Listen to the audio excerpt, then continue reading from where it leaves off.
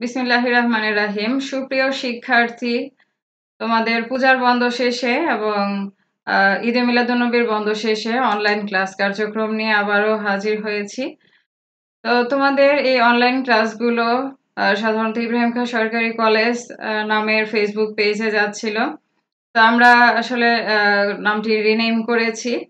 তোমাদের সুবিধার্থে, যাতে করে ইংরেজিতে একটু ছোট নামে তোমরা সহজেই সার্চ দিয়ে এটা বের করতে পারো। আর যারা আগে থেকে যুক্ত আছে আমাদের সাথে, তাদের কাছে তো নোটিফিকেশন চলেই গিয়েছে। আমরা যে নামটি নতুন করে দিয়েছি, সেটা হচ্ছে যে আইকেজিসি অনলাইন ক্লাস আমরা যে যে নিচে স্ক্রোলিং যাচ্ছে, এখানে যদি তোমরা খেয়াল করে দেখো তাহলে দেখতে পাবে। ফেসবুক পেজ হচ্ছে কি আইকেজিসি অনলাইন ক্লাস তো আমি যথারীতি তোমাদের আজকে আইসিটির ষষ্ঠ নাম্বার ক্লাস নিয়ে হাজির হয়েছি কামরুন নাহার। তো এর আগে আমরা যতগুলো ক্লাস করেছি ততগুলো ক্লাসের মধ্যে মূলত বিশ্বগ্রাম কি? বিশ্বগ্রামের মৌলিক উপাদানগুলো, বিশ্বগ্রাম ধারণা সংশ্লিষ্ট উপাদানগুলো পড়েছিলাম আমরা, ভার্চুয়াল রিয়েলিটি পড়েছিলাম, তারপরে পড়েছিলাম আমরা বিশ্বগ্রাম অথবা তথ্য যোগাযোগ প্রযুক্তি যে সাম্প্রতিক প্রবণতা, সেখান থেকে দু একটি টপিকস আমরা পড়েছি। যেমন আর্টিফিশিয়াল ইন্টেলিজেন্স এক্সপার্ট সিস্টেম এই দুটি আমরা পড়েছি। আজকে আমরা আরেকটি নতুন টপিক্সের সাথে পরিচিত হব। তো নতুন টপিক্সের সাথে পরিচিত হওয়ার আগে চলো আমরা একটা ভিডিও দেখে নেই। এবং সেই ভিডিওটি দেখে আমার মনে হয় তোমরা সবাই সহজেই বুঝে যাবে আজকের টপিক্সটা আসলে কি। তো চলো আমরা ভিডিওটি দেখে নেই।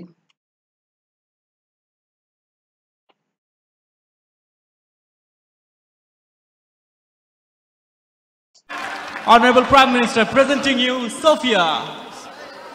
আমরা এখন সোফিয়ার সাথে কথা বলবো hello Sophia how are you Hello, Honorable Prime Minister. I am fine, thank you. It is such a pleasure to meet you today. How do you know me? Well, I've read and learned about you. I also know that you are the daughter of the great leader and father of the nation, Bangabandhu Sheikh Mujibur Rahman. You are also called the mother of humanity and the one who envisioned digital Bangladesh. And also, your granddaughter has the same name as mine, Sophia.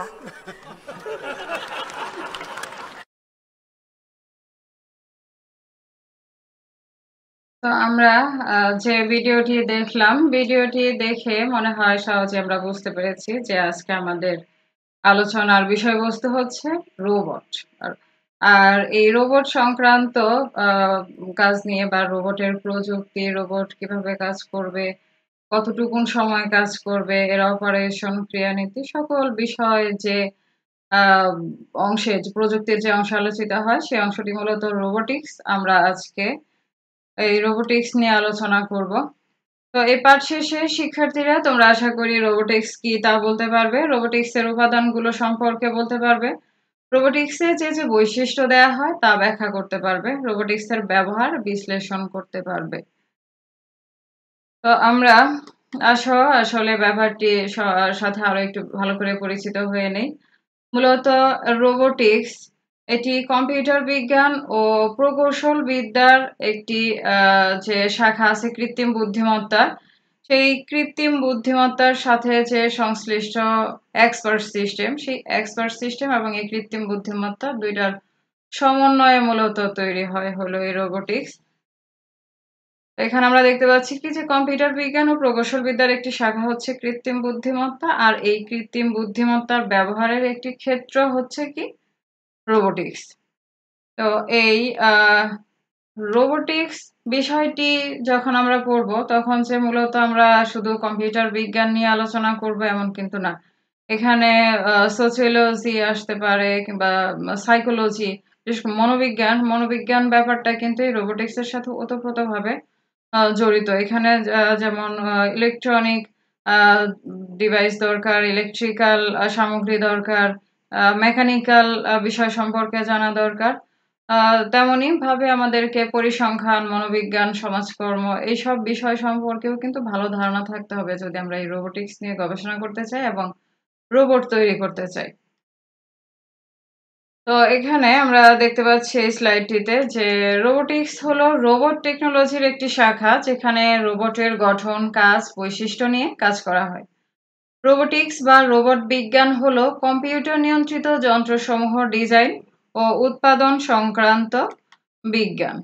এবং এই robot বিজ্ঞান মূলত electronics, প্রকৌশল, বলবিদ্যা, mechanics এবং software বিজ্ঞানের সাথে সম্পর্কযুক্ত। আমরা একটু আগে যেগুলো বললাম, মূলত এগুলো এখানে আলোচনা করা হচ্ছে। তো এ বিষয়গুলো সম্পর্কে আমাদের ধারণা রাখতে হবে যদি আমরা রোবট নিয়ে গবেষণা করতে চাই। তো আমরা রোবোটিক্স সম্পর্কে আরও একটু বিস্তারিত জানার চেষ্টা করব। রোবোটিক্সের যে সাধারণ বিষয়গুলো, সেই সাধারণ বিষয়গুলোর মধ্যে রয়েছে কি কৃত্রিম বুদ্ধিমত্তা? আমরা শুরুতেই বলে নিয়েছি যে রোবোটিক্স হচ্ছে কৃত্রিম বুদ্ধিমত্তার একটা শাখা। তো এই কৃত্রিম বুদ্ধিমত্তা মানে আর্টিফিশিয়াল ইন্টেলিজেন্স আর্টিফিশিয়াল ইন্টেলিজেন্স এই যে এআই এখানে কি? মানুষের যে বুদ্ধিমত্তা, সেই বুদ্ধিমত্তাগুলোকে যন্ত্রের মধ্যে প্রতিস্থাপন করা। অর্থাৎ কৃত্রিম উপায়ে কম্পিউটার বা অন্য কোনো ইলেকট্রনিক্স ডিভাইসে মানুষের বুদ্ধিমত্তাগুলোকে প্রতিস্থাপন করাকেই বলা হয় কি? কৃত্রিম বুদ্ধিমত্তা। এই যে, তাহলে কি? অন্য কোনো ডিভাইসের মধ্যে প্রতিস্থাপন করতে হবে। আর এই প্রতিস্থাপন করার জন্য আমাদের কি সফটওয়্যার আকারে প্রতিস্থাপন করতে হয়? আর সেই সফটওয়্যারটা মূলত কি এক্সপার্ট সিস্টেম আমরা গত ক্লাসে আলোচনা করেছিলাম যে যেমন আমরা যখন কম্পিউটারে টাইপিং এর কাজ করি, যদি কোনো বানান ভুল হয়, আমরা কিন্তু সার্চ দিই। ওই বানানটা লিখে যে টু ডিকশনারি এখানে যদি যাই, তাহলে দেখি কি, ওই রিলেটেড মানে ওই সব, আমি যে শব্দটা লিখেছি, ওই শব্দের অনেকগুলো রূপ আছে। ওইখান থেকে কিন্তু আমরা আমাদের কাঙ্ক্ষিত শব্দটি সিলেক্ট করে নিই। তো এটা, এখানেও কিন্তু এক ধরনের এক্সপার্ট সিস্টেম কাজ করে। আর এই এক্সপার্ট সিস্টেম কৃত্রিম বুদ্ধিমত্তা, এগুলো মিলে মূলত এই রোবট কাজ করে। তাহলে এই কৃত্রিম বুদ্ধিমত্তাকে ইঞ্জিনিয়ারিং এর সাথে অ্যাড করতে হবে এবং এইখানে যে আমরা শুরুতেই বলেছি যে মনোবিদ্যা মানে সাইকোলজি মনোবিজ্ঞান, এই ব্যাপারটা কিন্তু আসলে এই রোবোটিক্সের মধ্যে অনেক গুরুত্বপূর্ণ একটা ভূমিকা রাখে। কারণ আমরা আমরা যে কাজগুলো করি এগুলো কাজ, প্রত্যেকটা কাজের পেছনে কিন্তু আমাদের বিভিন্ন রকমের সাইকোলজি কাজ করে। তো এই রোবট যে কাজ করবে, এর পারিপার্শ্বিক পরিবেশের সাথে যে সাড়া দিবে ভিজুয়াল পারসেপশন তৈরি করবে, তো এগুলোর জন্য তো তাকে মানে যেহেতু তার কি, মন নাই, মানুষের তো মন আছে আল্লাহ এগুলো নিয়ন্ত্রণ করে, তো এখন এই যে রোবট রোবটের মধ্যেও তো মন দিতে হবে, আর সেই মনটাকে দিতে গেলে তো অবশ্যই মানুষের যে মানবিক দিকগুলা, সেই দিকগুলো বিবেচনা করে এর মধ্যে সফটওয়্যার অর্থাৎ এক্সপার্ট সিস্টেম আকারে প্রতিস্থাপন করতে হবে, আর সেই কাজটা ভালোভাবে করার জন্য আমাদের জানতে হবে মূলত সাইকোলজি আর এই যে রোবোটিক্স এই রোবোটিক্স কিংবা এই রোবোটিক্স যে বিষয়টা নিয়ে আলোচনা করে মূলত রোবট সেই রোবট শব্দটার উৎপত্তি হয়েছে মূলত রোবোটা আবার কেউ কেউ বলে থাকে ঠিকই রোবটই শব্দ থেকে এসেছে। তো এই শব্দটির সাথে আমাদের প্রথম পরিচয় করিয়ে দেন ক্যারেল ক্যাপেক। ঠিক আছে, ক্যারেল ক্যাপেক। তিনি সায়েন্স ফিকশনে অনেক দক্ষ ছিলেন। সায়েন্স ফিকশন ওনার অনেক জনপ্রিয় জনপ্রিয় সায়েন্স ফিকশনের বই রয়েছে। তো রোবট শব্দটার প্রবক্তা তাহলে কি? ক্যারেল ক্যাপেক। আর এই রোবটার শব্দটার মানে হচ্ছে দাস বা কর্মী। মানে আমরা যাকে দিয়ে কাজ করাই, সাধারণত তাদেরকে নর্মালি আগে অনেক যে একটা ভ্রান্ত ধারণা ছিল যে কৃতদাস, ওইখান থেকেই মূলত স্ল্যাব বা দাস শব্দটি এসেছে। কিন্তু আমরা আসলে এখন সবাইকেই সম্মান করি, সকল কর্মীকেই সম্মান করি। একজন দারোয়ান কিংবা একজন অটোরিকশা চালক, সবাই সবার, যার যার পজিশনে অনেক দক্ষ। আমরা তার কাজগুলো পাই না। আমরা যে তোমাদের অনলাইন ক্লাস কার্যক্রমের উদ্বোধন যখন হয়, তখন যদি ওই উদ্বোধনী ক্লাসে যে ধারা বিবরণী কিংবা বক্তব্যগুলো যে উপস্থাপন করেছিলেন তাদের বক্তব্যগুলো যদি শুনে থাকো, তাহলে তোমরা কিন্তু এই বিষয়টি সম্পর্কে অনেক ক্লিয়ার হবে। আশা করি তোমাদের মন মানসিকতা ওইভাবেই তৈরি হবে। তো রোবট শব্দটার মানে হলো কি, দাস বা কর্মী। আমরা আসলে মূলত কর্মী হিসেবেই রোবটকে ট্রেড করতে পারি। আর এই রোবট রোবট মূলত কি? এক ধরনের ইলেকট্রোমেকানিক্যাল যান্ত্রিক ব্যবস্থা, যা নিয়ন্ত্রিত হয় মূলত প্রোগ্রামের দ্বারা, কম্পিউটার প্রোগ্রাম দ্বারা। আর এই যে কম্পিউটার প্রোগ্রাম, এটা মূলত কি? ইন্টিগ্রেটেড সার্কিট আইসি এটার মধ্যে কি প্রোগ্রাম দেয়া হয়? মানে মাইক্রোপ্রসেসর কিংবা আরও আদার্স অনেক ইন্টিগ্রেটেড সার্কিট এখানে রয়েছে, যেখানে প্রোগ্রামের মাধ্যমে এই ডিভাইস বা যে ইলেকট্রোমেকানিক্যাল যে যন্ত্র রোবট এটিকে পরিচালনা করা হয়। এবং এইখানে এর কার্যপদ্ধতিটি মূলত স্বয়ংক্রিয় হতে পারে, আবার আধা স্বয়ংক্রিয় হতে পারে। অর্থাৎ এটি মানুষ দ্বারাও নিয়ন্ত্রিত হতে পারে, আবার মানুষ ছাড়াও নিয়ন্ত্রিত হতে পারে। তো আমরা আমরা তো দেখি যে আমাদের মানে চরাঞ্চলে দেখবে অনেক বেগু গাড়ি রয়েছে। এগুলো কিন্তু অনেকটা রোবট তবে এগুলো কি? মানব নিয়ন্ত্রিত, এগুলো কম্পিউটার নিয়ন্ত্রিত না বা কম্পিউটার প্রোগ্রাম দ্বারা নিয়ন্ত্রিত না।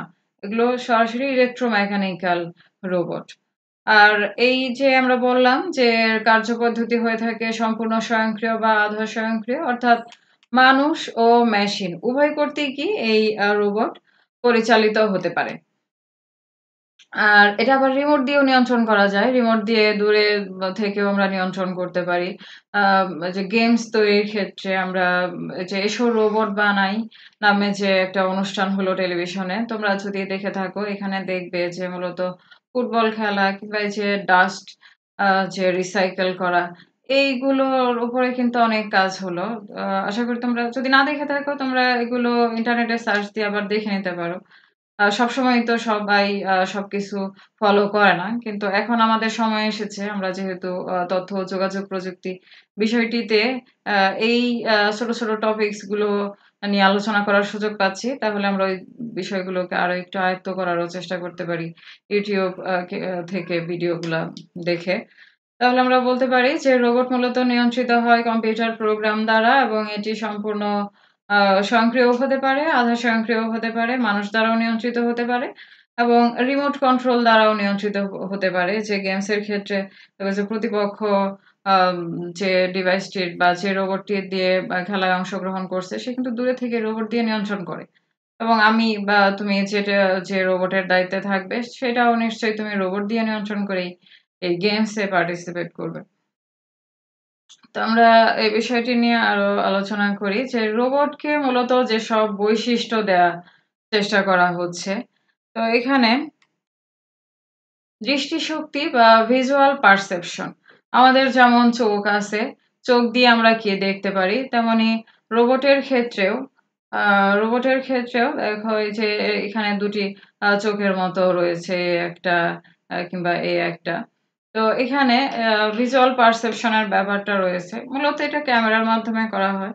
তো বাস্তবে মনে হয় যে এখানে যদি আর্টিফিশিয়াল ইন্টেলিজেন্স দিয়ে যদি এই মানে genetic engineering artificial intelligence expert system এগুলোর মাধ্যমে যদি কৃত্রিম চোখ তৈরি করা হয় এবং কৃত্রিম চোখটা যদি ওই ক্যামেরার মধ্যে প্রতিস্থাপন করে দেওয়া হয়, তাহলে কিন্তু মনে হবে যে এটা আসলেও চোখ। আমরা যে প্রথমে যে ভিডিওটা দেখে নিলাম সেখানে কিন্তু যে সোফিয়া নামের যে রোবটটিকে আমরা দেখলাম, ওটিকে দেখে কিন্তু আমাদের মনে হয়েছে বাস্তব। ওর যে চোখের পলক ফেলা কিংবা মুখের যে এক্সপ্রেশন চেঞ্জ হওয়া আশেপাশের পরিবেশের সাথে যে সময়ের সাথে যে তার এক্সপ্রেশনগুলো চেঞ্জ হচ্ছে, এগুলো মানে দৃষ্টিশক্তি এবং ভিজুয়াল পারসেপশনের জন্য সে এগুলো করতে পারছে। এবং এর স্পর্শ বা স্পর্শ যে ইন্দ্রিয় গ্রাহ্য সক্ষমতা, এটাও কিন্তু দেওয়ার চেষ্টা করা হচ্ছে। রোবটকে আরও অনেক বৈশিষ্ট্য দেওয়ারই চেষ্টা করা হচ্ছে। এগুলো যে শুধু দেখতে পায় এরকম না, এটা কিন্তু মানুষের গতিবিধি নির্ধারণ করতে পারে। তোমরা যে গেমসগুলো দেখো গেমস গুলোতে কিন্তু এই ভিজুয়াল পারসেপশনের উপরে ভিত্তি করে মানে অনেকগুলো পথ রয়েছে, সে কোন পথটির দিকে যাবে?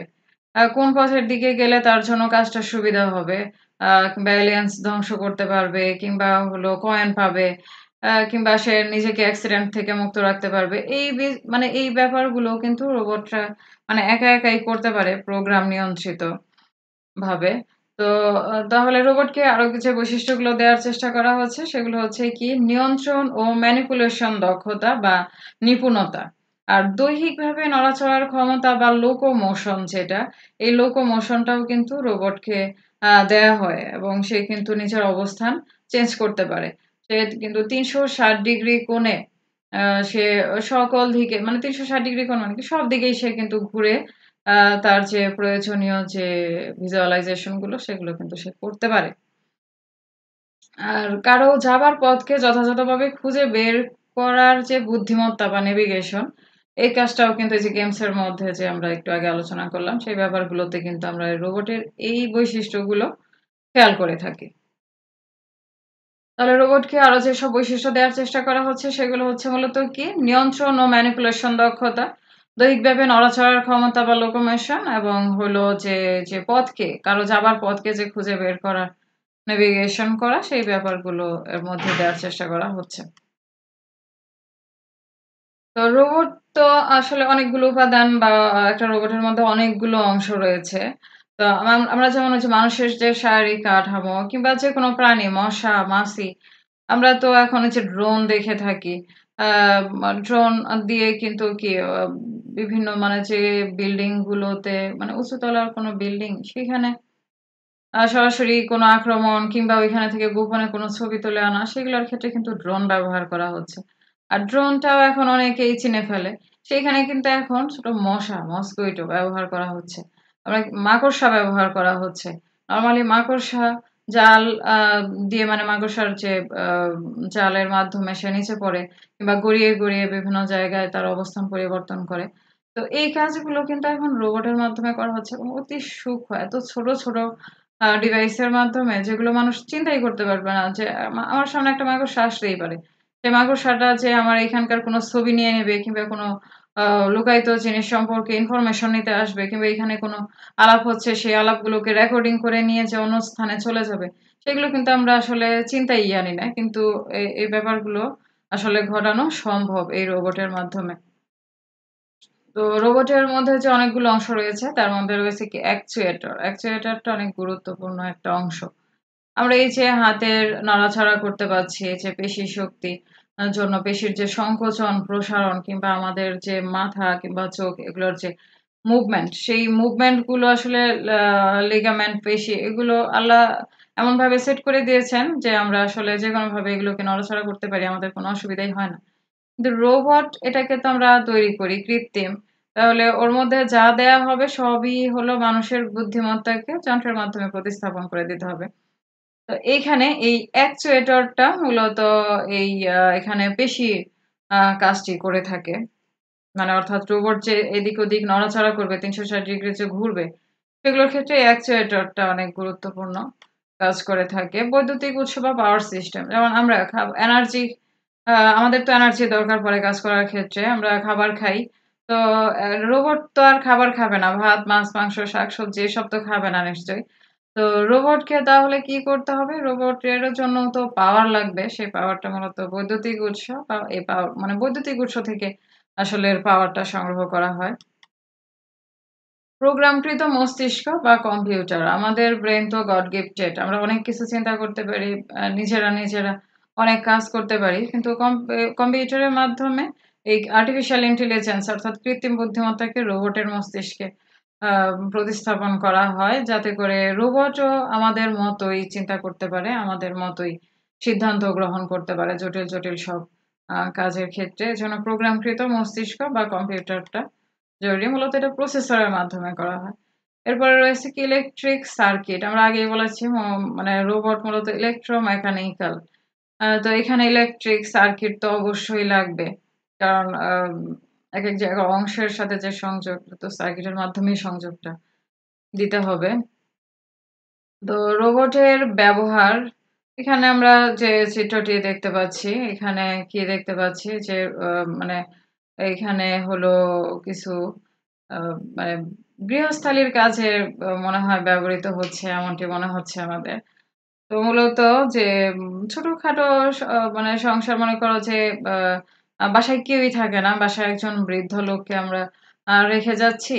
তো তার কখনো কোনো প্রবলেম হলো কিংবা হলো সানগ্লাসটা পড়ে গেল মানে তার যে চশমাটা, অথবা তার যে হাতের লাঠিটা, সেই লাঠিটা পড়ে গেল, সে তোলার মতো অবস্থায় নাই।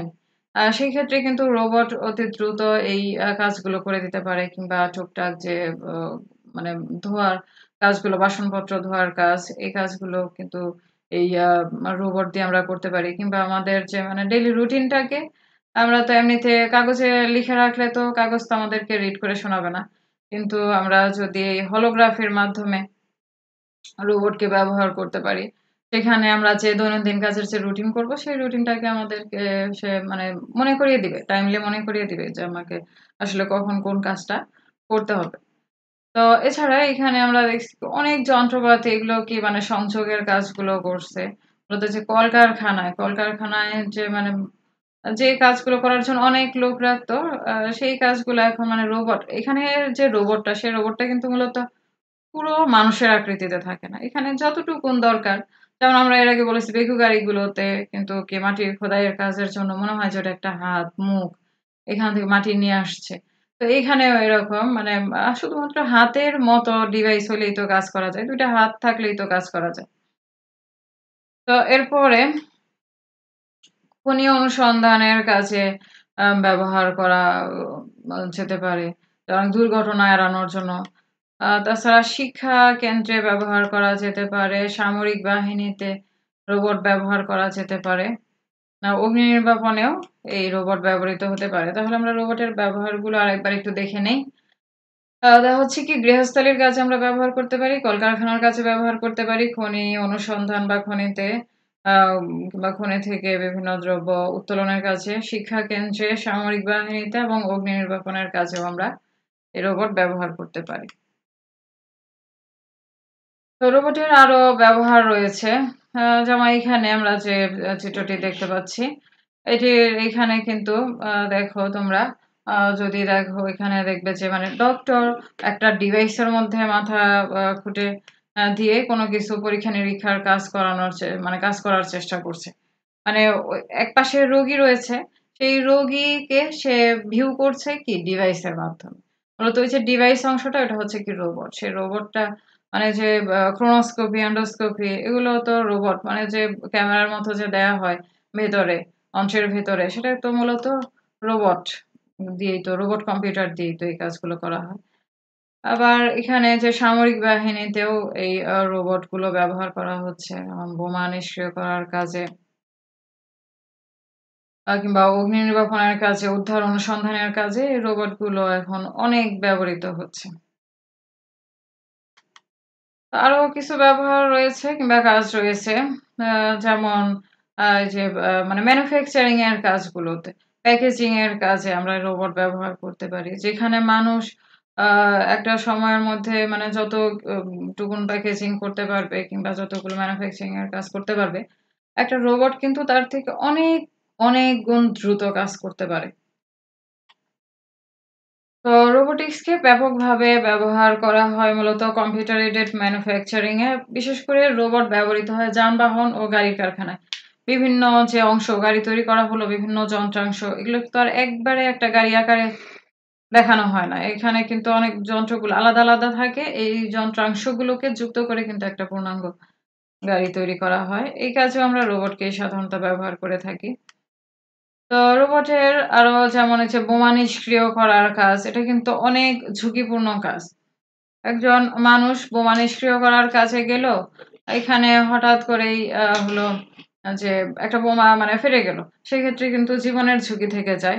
আহ, সেই ক্ষেত্রে একটা ফ্যামিলি অনেক বিপদের মধ্যে পড়ে কিংবা সে অনেক গুরুত্বপূর্ণ একটা পদে থাকে সেই পদটা আহ, ফাঁকা হয়ে যায়। এখানে ওরকম একজন দক্ষ লোক খুঁজে নাও পাওয়া যেতে পারে। তো সেক্ষেত্রে আমরা যদি রোবট দিয়ে এই কাজগুলো করিয়ে থাক মানে করানোর চেষ্টা করি, তাহলে কিন্তু এই দুর্ঘ অনভিপ্রেত যে দুর্ঘটনাগুলো ঘটে, সেই দুর্ঘটনাগুলো কিন্তু আমরা খুব সহজেই এড়াতে পারি। আবার এই যে ডুবে যাওয়া জাহাজ অনুসন্ধানের কাজে আমরা ব্যবহার করতে পারি, খনির অভ্যন্তরে কাজ করার জন্য কিন্তু রোবট ব্যবহার করতে পারি। যাতে করে যে অনেক মানে ঝুঁকি থাকে যে, মানুষের জন্য যে ঝুঁকিগুলো থাকে, রোবট দিয়ে করলে কিন্তু সেই ঝুঁকিগুলো থাকে না। যে কারখানায় কম্পিউটার নিয়ন্ত্রিত রোবটের সাহায্যে নানা রকম বিপজ্জনক ও পরিশ্রম সাধ্য কাজ, যেমন এই যে ওয়েল্ডিং এর কাজ কিংবা হলো ঢালাইয়ের কাজ, এগুলো কিন্তু অনেক নিপুণভাবে, নিখুঁতভাবে এবং হলো কোনো ঝুঁকি ছাড়া আমরা এই রোবট ব্যবহার করে খুব সহজেই সম্পন্ন করতে পারি।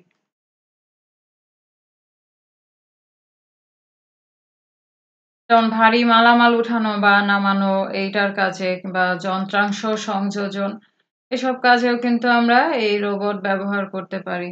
এখানে যে মনে হচ্ছে কি যে, এগুলো রোবট মনে হচ্ছে যে হ্যাঁ এগুলো তো যন্ত্রের মতো, তবে এগুলো কিন্তু কম্পিউটার নিয়ন্ত্রিত প্রোগ্রাম নিয়ন্ত্রিত এবং প্রসেসর ব্যবহার করে এই কাজগুলো করানো হচ্ছে।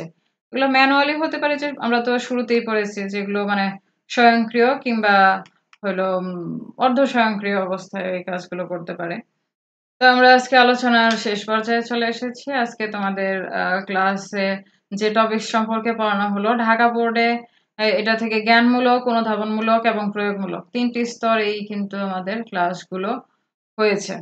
সরি পরীক্ষায় প্রশ্ন এসেছে এই তিনটি স্তরে, জ্ঞান, অনুধাবন এবং প্রয়োগমূলক স্তরে। তো তোমাদের জন্য বাড়ির কাজ দিচ্ছি।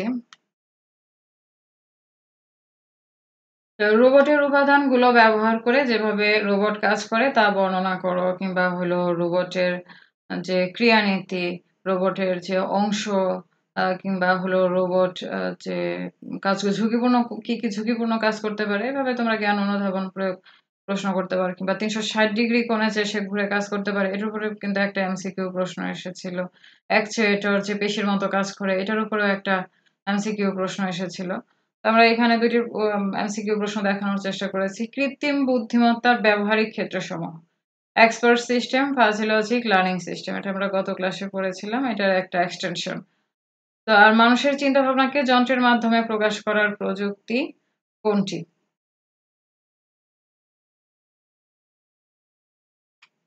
তো আমরা আসলে আজকে ক্লাস শেষ করব। তো ক্লাস শেষ করার আগে আবারও আহ্বান থাকবে তোমাদের জন্য যে তোমরা আসলে আমাদের ক্লাস কার্যক্রমের সাথে যুক্ত থাকো, কারণ পরীক্ষা যথারীতি আমার মনে হয় যে সময় মতোই হবে, যেহেতু তোমাদের অনলাইন ক্লাস কার্যক্রম একদম শুরু থেকেই ভালোভাবে শুরু হয়েছে এবং তোমাদের কিন্তু অনলাইনে পরীক্ষাও হবে। তো তোমরা তাহলে প্রিপারেশন শুরু করে দাও। তো আশা করি তোমরা ভালো থাকবে। আগামী ক্লাসের আমন্ত্রণ জানিয়ে তোমাদের সুস্বাস্থ্য এবং সার্বিক ভালো কামনা করে শেষ করছি। ধন্যবাদ সকলকে।